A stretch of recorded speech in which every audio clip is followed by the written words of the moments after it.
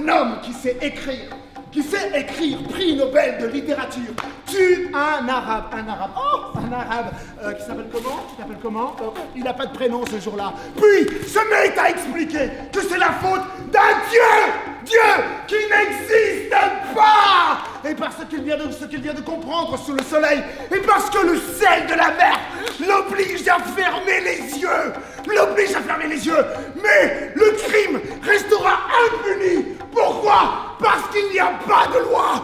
Il n'y a pas de loi. Il n'y a pas de loi entre midi et 14 heures.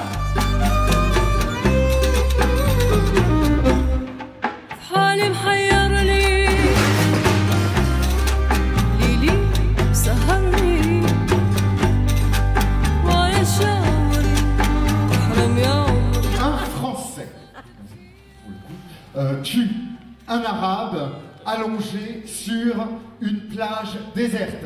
Il est 14 heures, c'est l'été 1942.